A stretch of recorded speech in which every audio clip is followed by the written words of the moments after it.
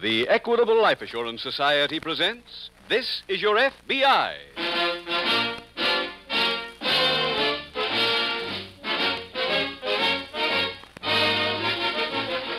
This is Your FBI, the official broadcast from the files of the Federal Bureau of Investigation. Presented transcribed as a public service by the Equitable Life Assurance Society of the United States and the Equitable Society's representative in your community.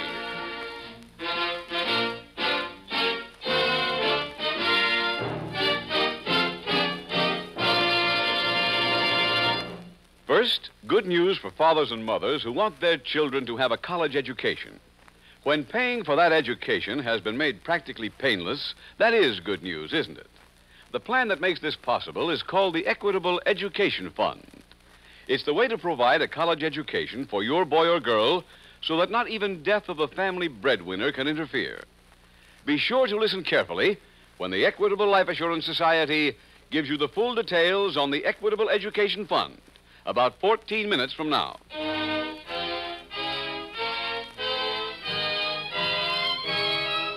Tonight, the subject of our FBI file Armed Robbery.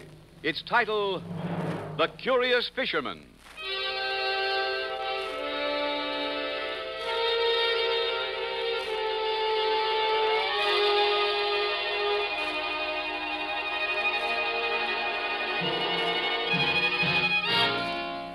Tonight's case was selected because it points up a warning that your FBI has issued many times on this program. This warning is don't publicize yourself as a promising victim for a crime. The underworld finds it highly profitable to scan newspapers carefully, to circulate unobtrusively in public places. The man who openly displays a well filled wallet invites a pickpocket. The woman who allows herself to be photographed wearing costly jewels may be setting the wheels in motion for a carefully planned robbery months later. Tonight's case from the official FBI files is dramatic proof that public display of wealth can be an invitation to crime.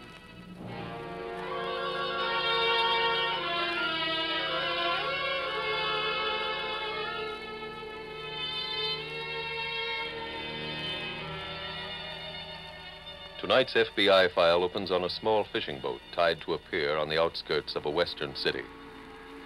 The hot noon sun burns down on a leather skinned man as he approaches a young girl mopping the deck.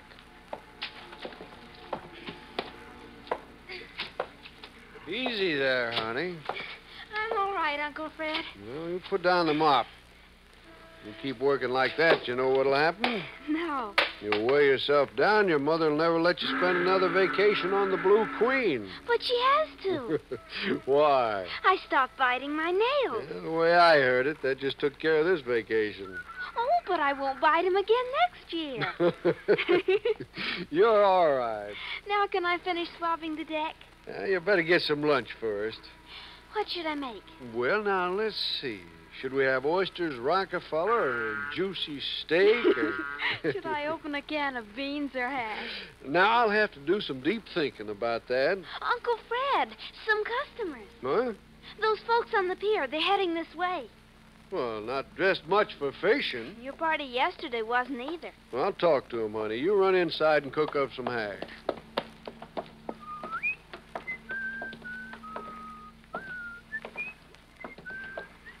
Hello there. Hi. Hey, the water wet? Ain't been in. well, me and the missus and my friend here, we like to do some fishing. You come to the right place. Oh, that's fine. We want to go out tomorrow. I'm for hire. He's for hire. How about it, Martha? Hmm, looks like a nice boat. The Blue Queen's a right nice boat, ma'am. Floyd, you game for fishing tomorrow? Sure. Well, we got to make certain we all be free tomorrow. You see, we're on a vacation and never so busy as when you're taking a rest. Lots of folks like that. Yeah, say, have you got a camera? Nope.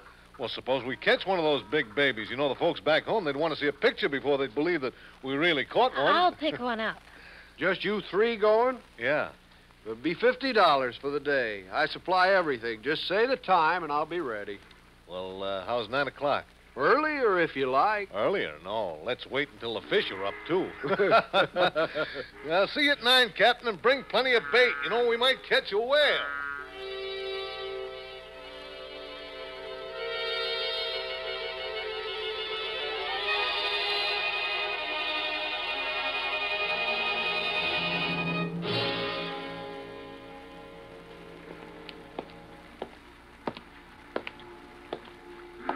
Alice, you didn't finish your breakfast. I did. Now, what about the milk? Oh, Uncle Fred. I promised your mother you'd have a glass of milk for every meal. I'll take two for lunch. well, all right. You're the best uncle a girl ever had. oh, here comes our party. I'll go start the motor. Now, take your time. Eh, Hi. Beautiful morning, isn't it? Yeah, yeah. Here, take my hand. Yeah. There. Oh, it does a man good to be up this early. As long as he don't overdo it. yeah, watch your step, lady. There. Oh, thank you. Here you are, mister. All right, I don't need help. Where we put our poles? What'd you bring poles for? Well, we're going fishing. Sorry you took the trouble. Thought I told you the price covered everything. Oh, we got 'em, so we might as well use 'em. We can leave whenever your party's ready. We're ready now. Hey, what's that? The motor. Oh, who started it? My niece. Ready, Uncle All right, get her ashore, huh? Ashore? She's my crew. Not this trip. Look, Floyd, forget it. She won't make any difference. Leo is right. Why don't you want her to come along? I don't like kids. All right, mister, I'll go. Alice, you stay here. It's her or us. I'll take her. Uncle Fred, it's $50. Take them, I don't care. I pick out my own crew.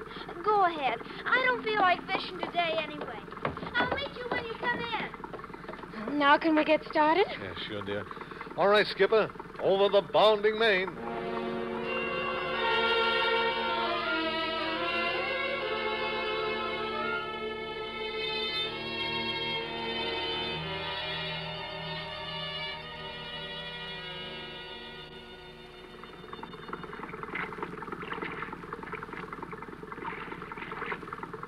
Ah, this is the life. Not for me. Look, Floyd, you've got to learn to relax. Enjoy yourself. Why? Leo, something's gone wrong. I don't see the Mary It's early yet. It's five o'clock. Leo, are you sure you got the right information? Why, of course, do you know I never make a mistake? Go back there. Answer him. Uh, yeah, Skipper? You need more bait? No, not yet. Hey, I think that's it. Yeah? Wait till I read the name. There can't be too many yachts around here. There's enough. Ah, it's the Mary Ann. I told you we'd meet her out here, didn't I? All right, look. Get ready to go into your act. Okay, move that chair so I can lay down. Are you comfortable, dear? Fine. All right, start groaning. Oh, Hey, Oh. hey, uh, Skipper! Skipper! Yeah? Come here, quick! What's the trouble? Well, my, my wife, she's taken sick. Will you get us out to that yacht? Maybe there's a doctor aboard. We'd be better off turning back. But I, I got first aid stuff aboard. Oh, please, will you? She's very sick. Head for the yacht.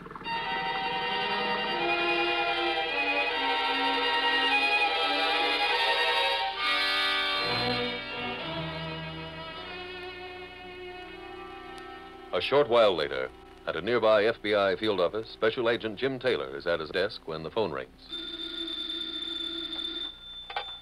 Taylor speaking.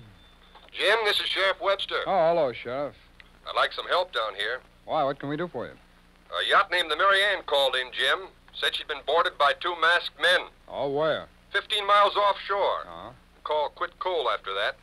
Weather was good, so the equipment must have been smashed. Oh, who's the Mary Ann registered to? A man named Forrest. Mhm. His maid told me he was aboard the yacht with some guests. Sheriff, there any other uh, ships in that area? Mm, none I could find by radio. And still no answer from the yacht, huh? That's right. I'm sending up our plane now to search for her. Well, okay, Sheriff. I'll be down on the first train.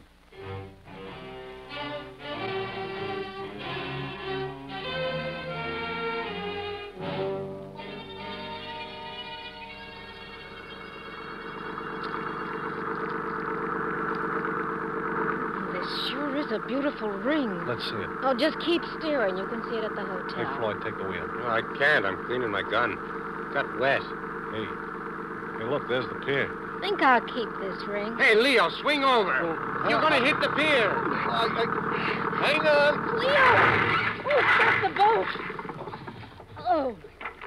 Hey. Is every, everybody okay? Yeah, Come on. Floyd, grab the pier. Hold it. yeah. Uncle Fred! Uncle Fred! Kid. Uh-huh. Leo, answer. Oh, what'll I say? Never mind. Uh, Your uncle's in the cabin. Why isn't he going to tie up? Ask him. It's his boat. Uncle Fred! Uncle Fred! Come on aboard.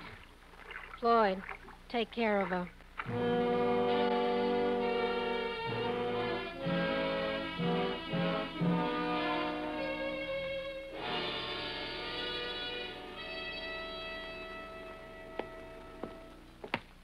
Sheriff. Hi, Jim. Been a long time. Yeah. Anything come in yet on the yacht? Our plane located her and landed alongside. Good. We were right about the radio equipment being smashed. Oh? The bandits took care of that first. How much they steal, Sheriff? $20,000 in jewelry. Wow. We didn't get descriptions on either of the men, Jim. But we got a good one of the getaway boat. Oh? She's a fishing craft named the Blue Queen. About a 35 footer, painted blue with a white star astern. Uh-huh. Where's she registered from? Here. I know her owner. His name's Barrow. She's usually at her dock by now, but I checked. And the pier's empty. Couldn't the victims give you any description of the men?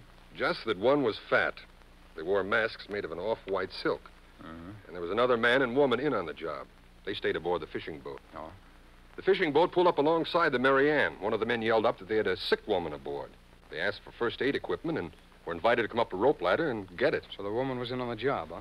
Now, how about the man who stayed aboard the fishing boat? Mm, no description on him either. Well, maybe that was Barrow. Oh, I doubt it, Jim. I've known Fred a long time. He wouldn't be mixed up in anything illegal. Besides, this was no amateur job. No, it certainly doesn't sound like one. One of the women aboard the Mary Ann said the fat bandit told her to hand over a diamond pendant and a ruby bracelet set. Well, that's understandable. But she wasn't wearing them, Jim. She said she didn't have anything like that. But the bandit told her he saw her wearing them in some picture. In a movie, you mean? No, a newspaper picture. Oh, I see. So I've arranged for us to use the launch. Want to see if we can locate the Blue Queen? You mean at night, Sheriff? Weatherman says the moon will stay this bright. Well, okay, let's give it a try.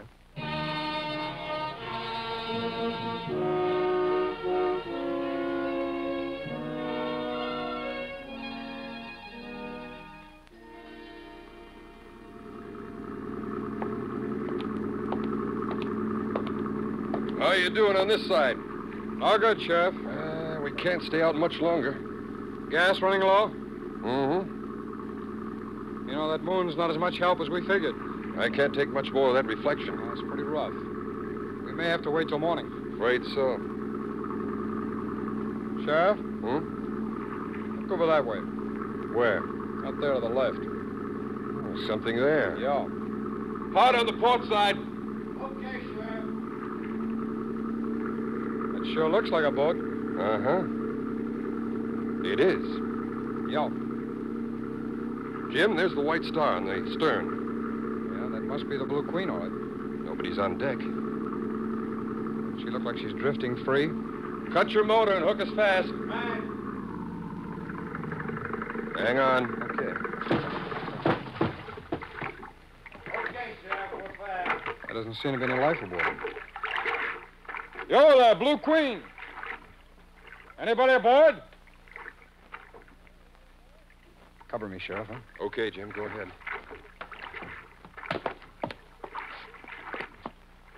Sheriff, come on over.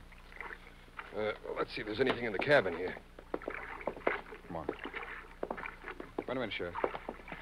Look over there, little girl. Oh, it's Barrow's niece. You know, is she usually aboard? Summers. Let's have you light a minute, huh? Sure. Oh, that kid's got a bad head wound. Uh-huh. How about moving over to the launch? Yeah, well, let's cover the rest of the boat first, quickly. Okay. Uh, poor kid. What's that on the deck there? Oh, scraps of material. Looks like silk. It's white. It could be the masks. Uh-huh. Looks like parts of a shirt. Yeah. I don't get this. Where is everybody? Is in the cabin. I doubt it. Didn't you say they were armed? That was the report. Well, if they were aboard, they'd have heard us approaching. That's so. Wait a minute. Hold it. Hmm? I thought I heard something. From the cabin? Yeah. Wait here, Sheriff. Okay.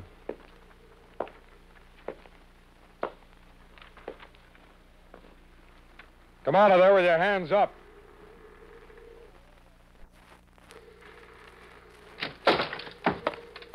Sheriff, come here. Who is this? Barrow. There's no pulse, no heartbeat. Well, Sheriff, we're working on a murder now.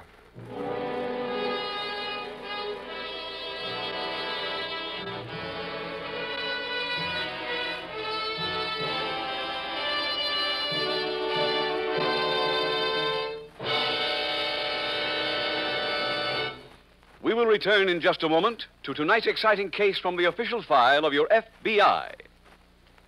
Now, for a moment, let's listen to a professional worry lifter in action. His name is Fred Barton, a representative of the Equitable Life Assurance Society. And his job is to help men and women get rid of some of life's major worries.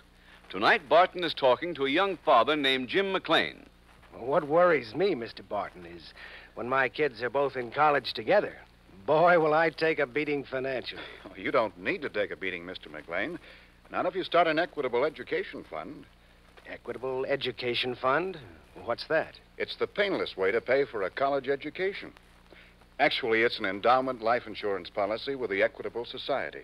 By the time your youngsters are ready to matriculate in college, the fund will be all paid up, and the money for their expenses is ready and waiting. Well, like paying for it on the installment plan, only uh, doing it in advance. That's it exactly.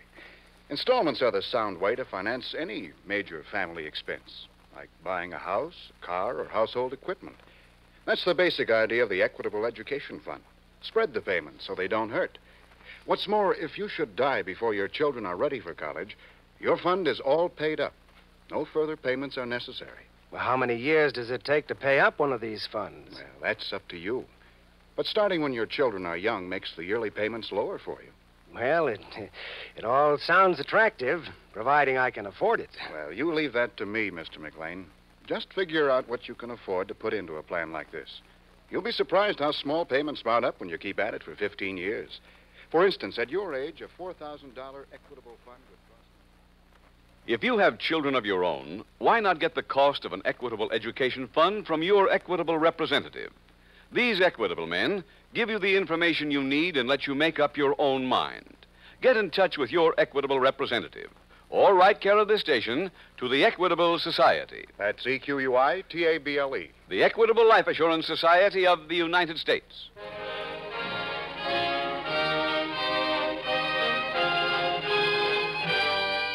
And now back to the FBI file The Curious Fisherman.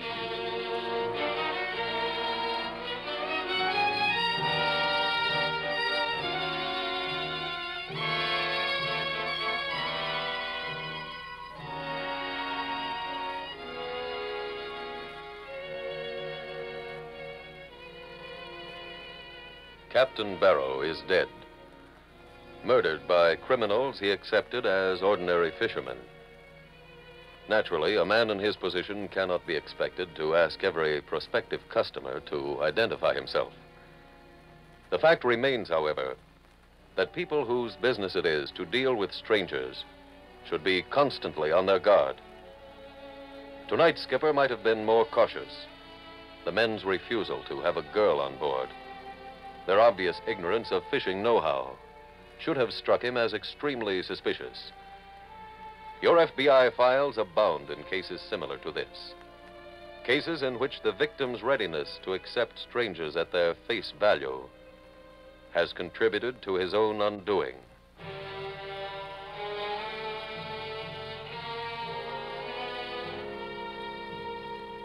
Tonight's FBI file continues two days later at Sheriff Webster's office. Special Agent Jim Taylor hangs up the phone. Sheriff, that was the lab. What'd they say, Jim? Well, that silk we found aboard the fishing boat didn't carry any invisible undermarks. Sure looked like parts of a shirt. The lab says they are, and that from the quality of the silk and the hand stitching, it must have been custom made. It doesn't help much. How many custom shirt makers are down here? Oh, a dozen or so. Well, maybe one of them would recognize the material, huh? I'll try. Okay. Here's the SWAT, Sheriff. I'm going to run by the hospital and see if Barrow's niece has come to you. The hospital call? No, but I'm going to be out that way. I've got an appointment to interview one of the women on the yacht. Oh, which one? Now, the woman who was robbed of the jewelry the bandit saw her wearing in a picture. I went through the files of both local papers this morning. Neither of them has ever printed her picture. Oh. I'll call in when I'm through.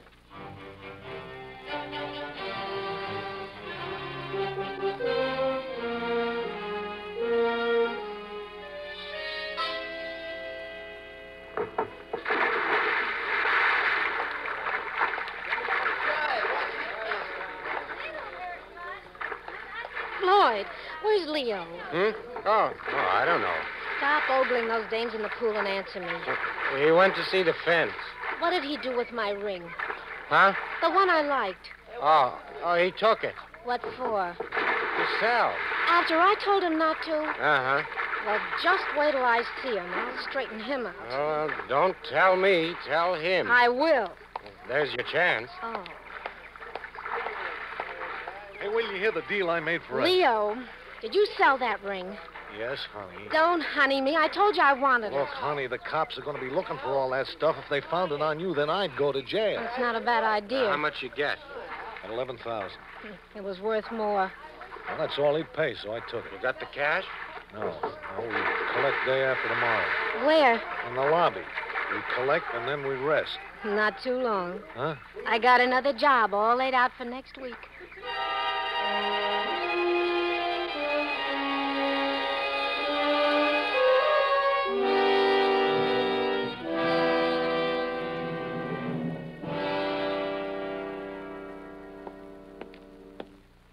We got bad news on that silk. No shirt maker use it? Not now or ever. Yeah, that is too bad.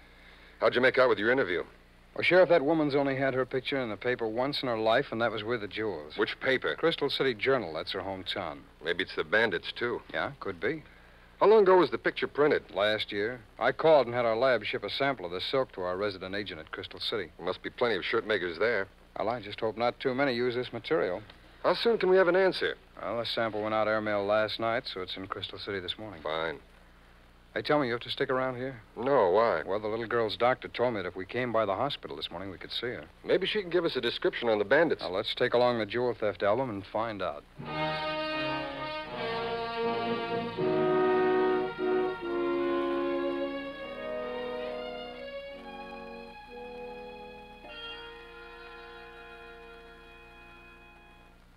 Alice, you too tired to continue? No, Mr. Taylor. All right, honey, go on.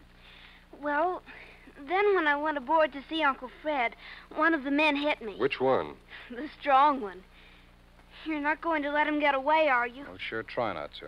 I'll help you. Good girl. The doctor said I can get up tomorrow. Oh, that's fine. Alice, you want to go through these pictures again?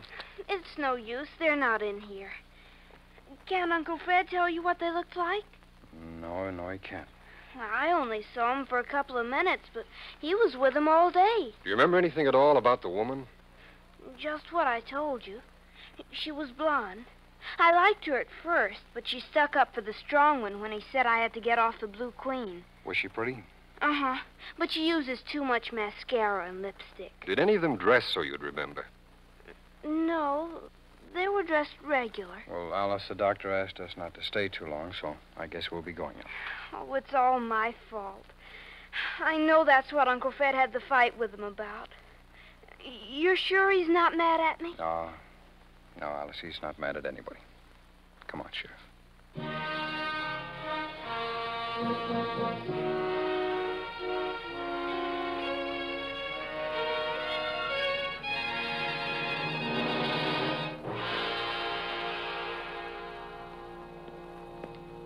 Sheriff, I just heard from Crystal City. What'd they say, Jim? Well, a shirt maker there used that silk last year and then discontinued it. He supplied the names of six men who got shirts from that bull. Now, five of them are legitimate people still living there. Who's number six? He's a man named Leo Spencer. His shirts were delivered to his hotel.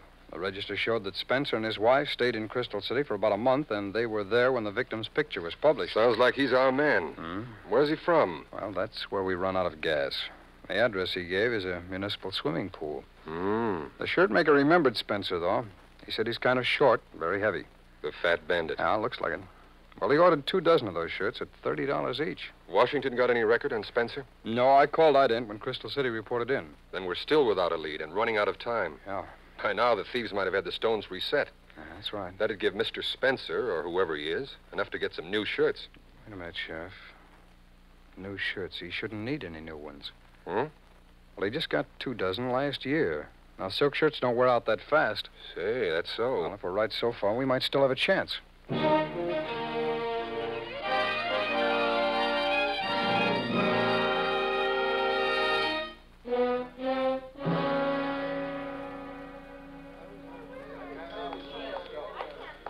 Floyd, is Leo still making that call? Uh huh.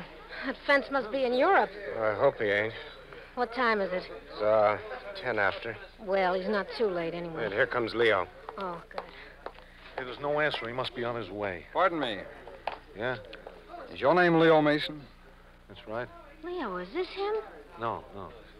I'm a special agent of the FBI. Here are my credentials. Well, what? What do you want from me? Information.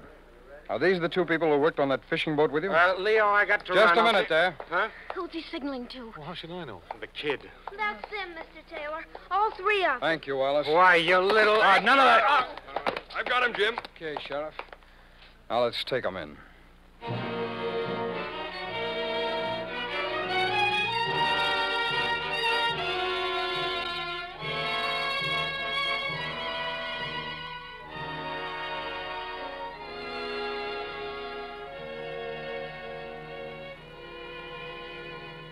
Leo and Martha Mason and Floyd Scott were convicted in federal court for murder on the high seas and sentenced to life imprisonment. Special Agent Taylor and Sheriff Webster arrived at the correct hotel because a certain laundry recognized the odd swatch of silk. They were at that time cleaning three shirts made of that same material. Three shirts for a man named Leo Mason at the Star Hotel. Tonight's case from the files of your FBI is a good illustration of how slim a thread of evidence is often all the police have to work with. It is also a good illustration of another important point that so long as there remains the vestige of a lead, neither your FBI nor any good law enforcement agency will ever stop working. Will ever stop until the criminals have been apprehended and justice done.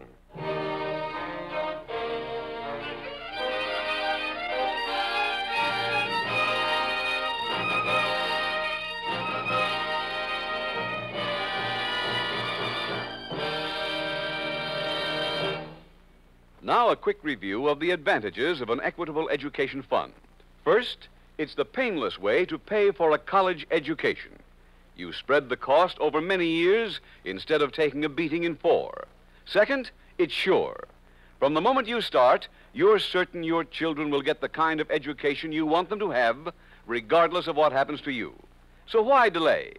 Ask your equitable representative for full information on an equitable education fund or care of this station to the Equitable Life Assurance Society.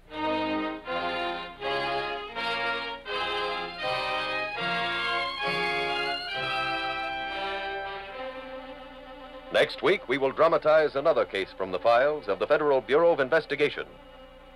Its subject Subversive Activities.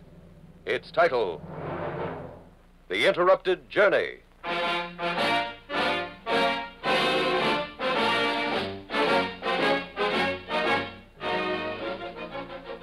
The incidents used in tonight's Equitable Life Assurance Society's broadcast are adapted from the files of the Federal Bureau of Investigation.